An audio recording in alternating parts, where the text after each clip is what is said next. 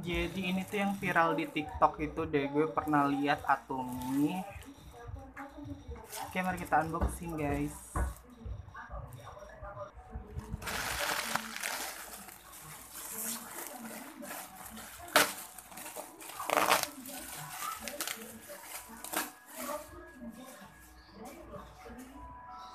Ada dompetnya